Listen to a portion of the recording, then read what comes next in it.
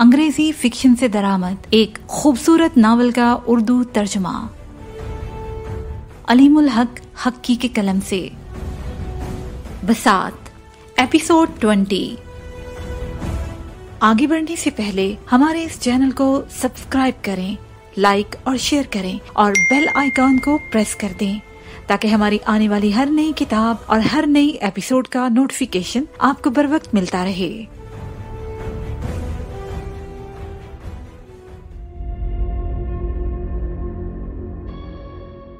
सबसे पहले तो मैं तुम्हें ज़्यादा बेहतर तौर पर समझना चाहता हूँ, विक्टर।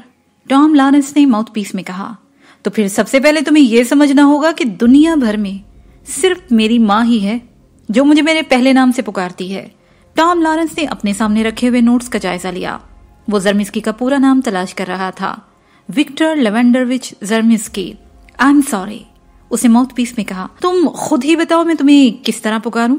कोई अजनबी किसी शख्स को कैसे मुहातब करता है? क्रिमलन में बैठे लोग दोनों से दूर के इस पहले मुकालमे से महफूज हो रहे थे, जबकि वाशिंगटन में व्हाइट हाउस वाले गुफ्तगु की इस नहज से परेशान थे। कोई मुख्तलिफ़ लाइन ट्राई करें जनाब सदर। सेक्रेटरी ऑफ़ स्टेट ने सरगोशी में तजवीज पेश की। टॉम लॉरेंस ने एंडी लाइट के तैयार करदा नोट्स का पहला वर्क उल्टा। मेरा ख्याल है हमारी पहली मुलाकात जल्द ही होनी चाहिए, बल्कि मैं तो इस पर हैरान हूँ कि हमारा सामना पहले ही क्यों नहीं हो गया। इसमें हैरत की कोई बात नहीं। जरमिस्की ने जवाब दिया, तुम पिछले जून में मास्को आए थे। वहाँ तुम्हारे एजाज में दिए जाने वाले इशाइये में, तुम्हारे सिफारत खाने वालों ने मुझे इस एजाज का मुस्तक नहीं समझा। मुझे मदू ही नहीं किया गया। तुम तो जानते ही हो कि गैर मुल्की दौरों में आदमी कितना बेबस होता है। मुकामी इंतजामिया बाख्तियार होती है। टॉम लॉरेंस का लहजा माजरत खाना था। मैं देखना चाहूँगा कि अपने सिफारत खाने के इन गैर जिम्मेदार अफराद के तबादले के बारे में। तुम क्या इकदाम करते हो? जरमिस्की ने सर्द लहजे में कहा, खास तौर पर अपने सफीर के बारे में, जो सियासी बसीरत से ही महरूम साबित हो चुका है। ओवल ऑफ़िस पर तवील खामोशी छा गई। वहाँ मौजूद वो तीन अफराद एक दूसरे का मुँह तक रहे थे, जिन्होंने इस गुफ्तगु के लिए मतवक्का जवाब को जहन में रखते हुए स्क्रिप्ट लिखा था। अब तक जरमिस्की ने एक भी जवाब ऐसा नहीं दिया था।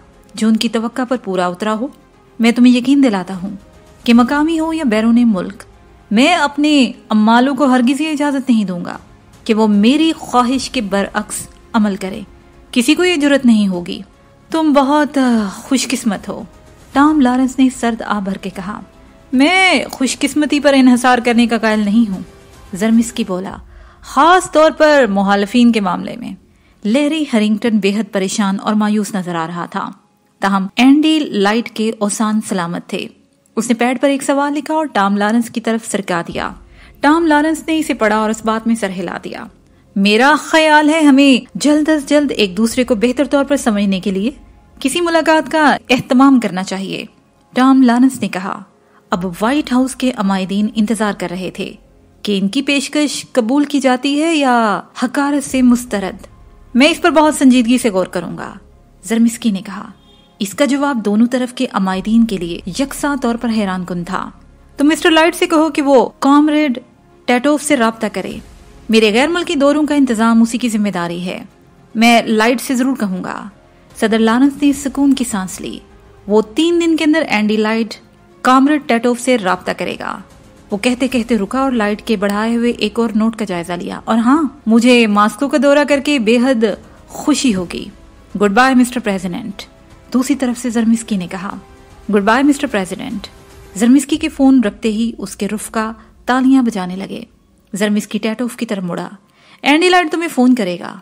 वो तजवीज पेश करेगा कि मैं अमेरिका का दौरा करूँ। तो मैं इनकार कर दूँ? टैटोफ ने कहा, नहीं, तुम वो तजवीज कबूल कर लेना। टैटोफ अपनी हैरत छुपा ना सका। मैं जानता हूँ कि टॉम लॉरेंस को जल्द ही अंदाज़ा हो जाएगा कि उसका वास्ता किस तरह के आदमी से पड़ा है। मगर मैं पूरी अमेरिकी कौम को यह दिखा देना चाहता हूँ कि अब रूसी की आदत किन लोगों के हाथ में है। और मैं चाहता हूँ कि टॉम लॉरेंस का तहफीफ असला का बिल सेनेट में मुस्तरद हो जाए। ये मेरी तरफ़ से टॉम लॉरेंस के लिए क्रिसमस का तोहफा होगा। उसके रुफका फिर तालियाँ बजाने लगे। चंद मिनट के बाद जरमिस्की ने हाथ उठाकर उन्हें रोक दिया। खैर, हमें पहले अपने अंदरूनी मसाइल की फ़िक्र करनी चाहिए। मैं चाहता हूँ कि हमारे आवाम को भी ये पता चलना चाहिए कि उनका लीडर कितना मज़बूत आदमी है। मैं उनके लिए एक मिसाल कायम करना चाहता हूँ, ताकि इसके बाद किसी और को इस बारे में कोई शुबा न रहे कि मैं अपने मुहालफिन से किस तरह निपटूँगा। इसके रुख का ये जानने के लिए बेताब थे कि इस मिसाल के लिए उसने किसे मुंतब किया है। जरमिस्की अपने वज़ीर इंसाफ की तरफ़ मुड़ा। माफिया का वो हिटमैन कहाँ है? जिसने मुझे कत्ल करने की कोशिश की थी, वो क्रूसीफिक्स जेल में है, शोलोफ ने कहा। मेरा ख्याल है आप यही चाहेंगे कि वो हमेशा वहाँ पड़ा सड़ता रहे? नहीं भाई, इतने खौफनाक मुजरिम के लिए उम्र कैद बहुत हल्की सजा है। वो तो मुकदमा चलाने के लिए आइडियल आदमी है। उसी के ज़रिए तो हम अपने अवाम को बहुत कुछ, बहुत अच्छी तरह समझा सकते हैं। लेकिन पुलिस को ऐसे वाजे सबूत नहीं मिल सके हैं, जनाब। जिनसे पता चलता हो कि वो सबूत नहीं है तो क्या हुआ? सबूत तहलीक किया जा सकता है? जरमिस्की ने कहा। और इस मुकदमे को देखने वालों में सिर्फ़ पार्टी के वफादार अरकान होंगे। आम लोग इसकी समात नहीं देख सकेंगे। आपके जहन में जो है, वो मैं समझ गया हूँ। वज़ीर इंसाफ ने कुछ हिचकिचाते हुए कहा, मुकदमे की तेज, तरीन समात, एक ऐसा जज जिसका नया नया तकरर हुआ हो और ज्यूरी के तमाम अरकान पार्टी के वफादार। और सजा की नोयत? शोलोफ ने पूछा, सजाए मौत और क्या? और सजा सुनाए जाते ही तुम अखबार वालों को कह देना कि सजाए मौत पर अमल दरामद मेरे सामने होगा। शोलोफ अब हर बात लिख रहा था और ये कब होना है? उसने पूछा। जरमिस्की ने अपनी डायरी खोली और वर्क गर्दानी करने लगा।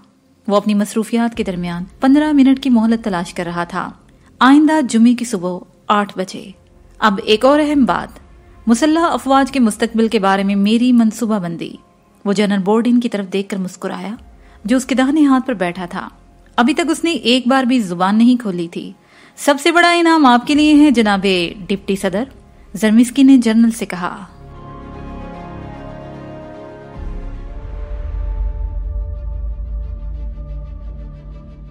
नानडंडा कैंप में कैदी की हैसियत से कॉर्नर ने दिन गिनने के लिए एक सिस्टम वजह किया था। वहाँ हर सुबह पाँच बजे एक वेदकांग गार्ड एक बर्तन लेकर आता, जिसमें चावल पानी में तैर रहे होते। वो इसका दिन भर का खाना होता था। वो हर रोज चावल का एक दाना अपने गद्दे के नीचे और चटाई के ऊपर डाल देता। सातवें दिन वो इन सात दानों में से छह खा लेता और चावल के सातवें दाने को अपनी शर्ट की ऊपर वाली दाहनी जेब में रख लेता। चार हफ़्ते बाद वो इसमें से तीन दाने खा लेता और चौथे दाने को कमीज की बाई जेब में डाल लेता। वो सिस्टम कामयाब साबित हुआ। जब वो और क्रिस जैक्सन वहाँ से फरार हुए तो कोनर को मालूम था कि वो एक साल पाँच माह और दो दिन की कैद के बाद फरार हो रहा है। लेकिन क्रूसीफिक्स जेल की इस तंगोतारी कोठरी में, जहाँ इस तख्त के सिवा कुछ भी नहीं था, जो बेड के तौर पर काम आता था, वो दिनों का हिसाब रखने का कोई सिस्टम नहीं सोच पाया। चीफ ऑफ़ पुलिस दोबारा इससे मिलने आ चुका था, लेकिन कोनर ने इससे कोई बात नहीं की थी। उसने इसे कुछ नहीं बताया था, बल्कि अब तो वो ये सोच रहा था कि अब किसी भी वक्त चीफ का सब्र तहमल जवाब दे जाएगा। और फिर हुआ भी यही। चीफ की दूसरी आमद के अगले रोज, शाम के वक्त वही तीनों इसकी कोठरी में घुस आए, जिन्होंने जेल आमद पर इसका इस्तकबाल किया था। इनमें से दो ने इसे तख्त से खींच कर उठाया और उसी कुर्सी पर पटख दिया, जिस पर पुलिस चीफ बैठता था। उन्होंने इसके दोनों हाथ मोड़कर इसकी पीठ से लगाए और इनमें खतकड़ी डाल दी। वो पहला मौका था कि कॉर्नर ने इनके हाथ में वो उस्तरा देखा। उस्तरे का फल जंग आलूद था।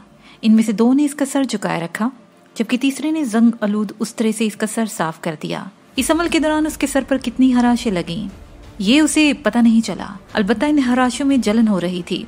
उन्होंने साबुन लगाना तो दूर की बात। इसके बाल नरम करने के लिए पानी लगाने की भी जहमत नहीं की थी। इसलिए खराशें ज़्यादा ही लगी थीं। इन खराशों से खून बहकर उसके चेहरे पर आ रहा था।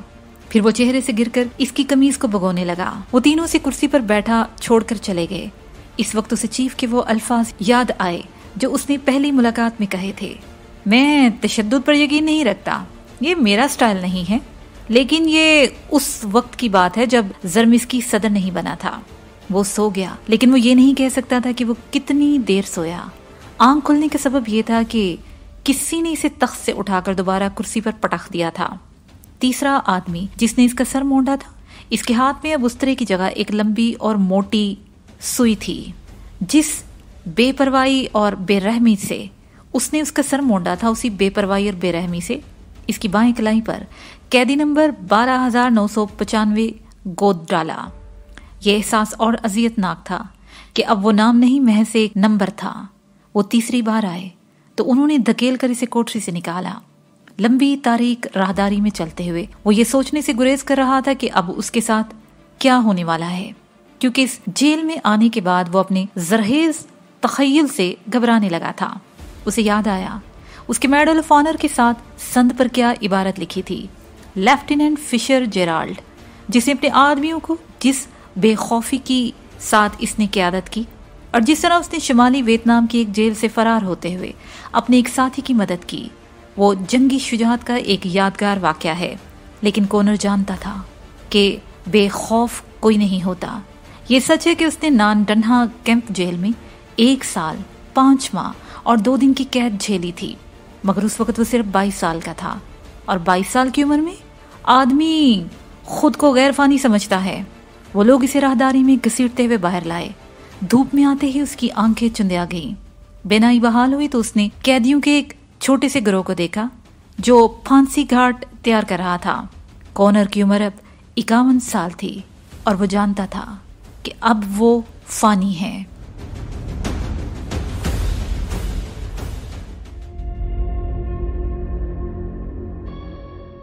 जोआन बेनेट लैंगले में एक एक दिन शुमार कर रही थी। वहाँ की ड्यूटी उसके लिए सजाए कैद से कम नहीं थी।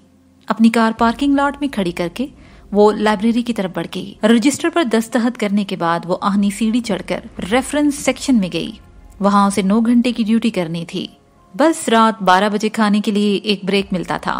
इसका काम मशर के वस्ता से ईमेल के ज़रिए मौसू होने वाले अखबारी तराशों का जायजा लेना था। वो ये देखती कि इनमें कहीं अमेरिका का तस्करा है। अगर है तो वो तस्करा अहम होता तो वो कंप्यूटर के ज़रिए उसे कॉपी कर लेती। फिर वो कॉपी तीसरी मंजिल पर अपने बास को भिजवा देती। बास सुबह के वक्त अपनी ड्यूटी पर आता था। वो इन तराशों को देखता और इनके बारे में फैसला करता। वो बहुत ही बेजार कुन और दिमागी तौर पर थका देने वाला काम था। कई बार उसने सोचा कि वो इस्तीफा दे दे, लेकिन वो निक गोटनबर्ग को ये खुशी देना नहीं चाहती थी। खाने के वक्फे से जरा पहले ही जोआन को इस्तंबुल न्यूज़ की वो सुर्खी नज़र आई। माफिया का कातल, अदालत में। जोआन के जहन में माफिया के साथ सिर्फ़ इटली का ही तस्वुर उभरता था। यही वजह थी कि तफसील पढ़कर उसे खैरत हुई। खबर जनूबी अफ्रीका के एक दहशतगर्द के बारे में थी, जिस पर रूस के सदर पर कातलाना हमले की कोशिश के इल्ज़ाम में मुकदमा चल रहा था। वो इस खबर में मजीद दिलचस्पी हरगिज न लेती, लेकिन फिर उसकी नज़र कातल के स्केच पर पड़ गई। उसकी साँसें रुकने लगी। तब जवान ने फातिमा उस्मान की वो खबर तफसील से पढ़ी। फातिमा उस्मान, इस्तंबुल न्यूज़ की नामा निगार बराए मशर की यूरोप थी। इस खबर में फातिमा ने दावा किया था कि मास्को में जरमिस्की के एक बड़े जलसे से खिताब के दौरान वो इस पेशावर कातल के साथ बैठी थी। खाने का वक्फा गुजर गया, मगर उस रात जॉन बेनेट अपनी सीट से नहीं उठी थी।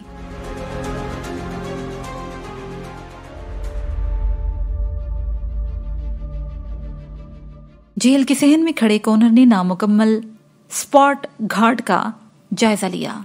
उस वक्त वहाँ एक गाड़ी आकर रुकी। उसे घसीट कर बाहर लाने वालों ने उसे उस गाड़ी की अकबी सीट पर धकेल दिया। उसे ये देखकर हैरत हुई कि पिछली सीट पर चीफ ऑफ़ पुलिस मौजूद था। लेकिन असल शौक तो व्लादिमीर को लगा था, क्योंकि वो कोनर फिशर जेराल्ड को पहचान ही नहीं सका था। गंजा होकर तो वो बिल्कुल ही तब्दील हो गया था। कार गेट से गुजरकर जेल की हदूद से निकल गई। वो दोनों खामोश बैठे थे। गाड़ी दाएँ जाने मोड़ी और अब दरिया के किनारे 50 किलोमीटर फ़ी घंटा की रफ्तार से चल रही थी। तीन पुल अबूर करने के बाद कार बाएँ जाने मोड़ ली गई। फिर चौथा पुल आया और उसके बाद गाड़ी शहर में दाखिल हो गई। कोनर खिड़की से बाहर देखता रहा। गाड़ी अब हरमटेज के सामने से गुजर रही थी। फुटपाथ पर लोग आ जा रहे थे। इन्हें देखकर इसे एहसास हुआ कि उसके नज़दीक उसकी आज़ादी कितनी अहमियत रखती है। कुछ देर की मजीद ड्राइव के बाद गाड़ी पैलेस ऑफ़ जस्टिस के सामने आकर रुकी। एक पुलिसमैन ने दरवाज़ा खोला। अगर कोनर के जहन में फरार होने का कोई ख्याल था भी तो वहाँ पचास पुलिस वालों की मौजूदगी देखकर वो इसे भूल गया था। वो इमारत में दाखिल हो गए। फ्रंट डेस्क पर एक ऑफिसर ने इसकी कलाई पर गोदा हुआ नंबर देखा, बारह हज़ार नौ सौ पचानवे। फिर उसे अपने पास नोट कर लिया। इसके बाद इसे मार्बल की उस राहदारी में ले जाया गया, जहाँ दो ऊँचे भारी दरवाजे थे। वो करीब पहुँचे तो दरवाजे खुल गए। तब उसे देखा कि वो कोर्ट रूम में है। और कोर्ट रूम लोगों से खचाखच भरा हुआ था। उसने उन चेहरों को देखा। उसे हैरत हुई। वो सब उसी के मुंतजिर थे।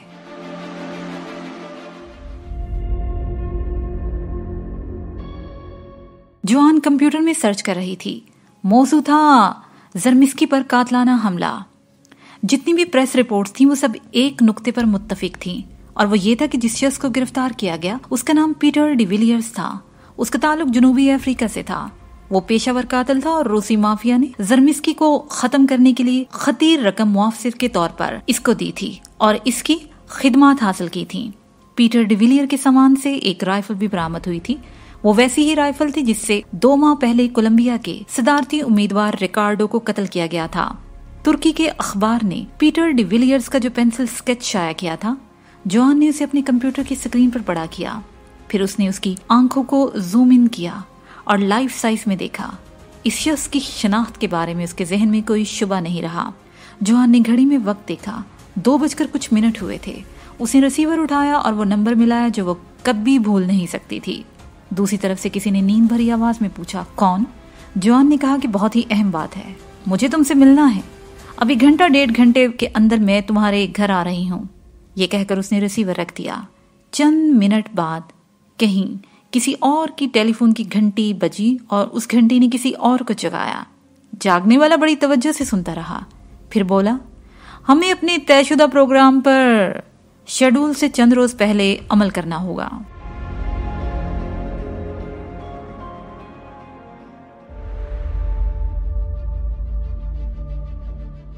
कोनर कटहरे में खड़ा कोर्ट रूम का जायजा ले रहा था। सबसे पहले उसने ज्यूरी के अराकीन को देखा। बारह अच्छे और सच्चे इंसान। नहीं, ऐसा कोई इम्कान नहीं। उसने फैसला किया। इनमें से कोई एक भी इसकी तरफ़ नहीं देख रहा था, बल्कि वो ना देखने की शौरी कोशिश कर रहे थे। कोनर ने समझ लिया कि इनकी जाँच पड़ताल नहीं हुई? इसकी ज़रूरत नहीं थी, क्योंकि वो सब मुंतहिब लोग थे। लंबा सिया गाउन पहने एक शख्स बगली दरवाजे से कमरे में दाखिल हुआ तो वहाँ मौजूद तमाम लोग एहतरामन खड़े हो गए। वो डाइस के वस्त में रखी हुई उस ऊँची चरमी कुर्सी पर बैठ गया, जिसके एन ऊपर सदर जरमिस्की का बहुत बड़ा पोर्ट्रेट दीवार पर नसब था। क्लर्क अपनी जगह से उठा और उसने रूसी ज़ुबान में मुलजिम के खिलाफ इस्तगासा पेश किया। कार्रवाई कोनर की समझ में बिल्कुल नहीं आई। इसे ये पूछा भी नहीं गया कि वो किस अंदाज में अपना दिफा करना चाहता है। क्लर्क अपनी जगह बैठ गया, तब डाइस के नीचे मौजूद बेंच पर से एक उधेड़ उम्र आदमी उठा और ज्यूरी से खताब करने लगा। वो प्रोसिक्यूटर था। प्रोसिक्यूटर ने तफसील से बताया कि मुलजिम को किस तरह और किन हालात में गिरफ़्तार किया गया। उसे बताया कि मुलजिम पीटर डिविलियर्स कई दिन से मुसलसल विक्टर जर्मिस्की का ताकुब कर रहा था, जो अपनी इंतहाबी मुहिम के सिलसिले में मसरूफ था। उसने ज्यूरी को बताया कि किस तरह वो राइफल मिली, जिसकी मदद से मुलजिम इनके महबूब सदर को कत्ल करना चाहता था। वो एक होटल की लॉबी में इसके सामान के साथ मौजूद थी। मुलजिम का पेशावराना गरूर और उसकी खुद नुमाई से ले डूबी। प्रोसिक्यूटर कह रहा था, राइफल जिस केस में थी, उस पर इसके नाम के हरूफ छपे हुए थे। मैं चाहता हूँ कि मीलॉर्ड, कि राइफल और वो केस अराकीन ज्यूरी खुद देख लें। इजाज़त है, जज ने कहा। ज्यूरी के अराकीन को राइफल और उसका केस दिखाया गया। इससे बड़ा सबूत कागज़ का वो टुकड़ा है, जो मुलजिम के परस से बरामद हुआ है। इसे जनीवा का एक महसूस बैंक अकाउंट में 10 लाख अमेरिकी डॉलर की रकम का ट्रांसफ़र होना साबित होता है। ज्यूरी के अरकीन के मुलाहजे के लिए ये सबूत भी पेश किया गया। मैं सेंट पीटर्सबर्ग की पुलिस को हिराज तहसीन पेश करता हूँ, जिसकी मुस्तदी और चुकन्नेपन ने इस बहीमाना और सिफकाना जुर्म के इरतकाब से पहले ही उसे रोक दिया। उन्होंने एक खतरनाक पेशावर कातल को नाकाम बनाकर कौम का सर फखर से बुलंद कर दिया। इसलिए कौम सेंट पीटर्सबर्ग के चीफ ऑफ़ स्टाफ पुलिस की शुक्रगुजार है। ज्यूरी के अराकीन असबात में सर हिलाए जा रहे थे। तफ्तीश के दौरान मुलजिम से जब भी ये पूछा गया कि क्या माफिया ने इस कत्ल के लिए उसकी खिदमत हासिल की थी तो उसने हर बार जवाब देने से इनकार कर दिया। अब इसकी खामोशी का मतलब क्या है, ये आप खुद समझ लें। मैं तो बस इतना कह सकता हूँ कि इन शवाहद को देखने और सुनने के बाद इस केस का एक ही फैसला हो सकता है और एक ही सजा सुनाई जा सकती है। ये मुलजिम दर हकीकत इंसानियत का मुजरम है। ये कहकर प्रोसिक्यूटर मुस्कुराया, उसे मानी खेज नज़रों से जज को देखा और अपनी जगह पर जा बैठा। क्या जॉन बेनेट सारी हकीकत जानने के बाद कॉनर की कोई मदद कर पाएगी? और क्या कभी वो मैगी को इस सारी सच्चाई से बाहर कर पाएगी? जानने के लिए सुनते रहिए बसात नेक्स्ट एपिसोड।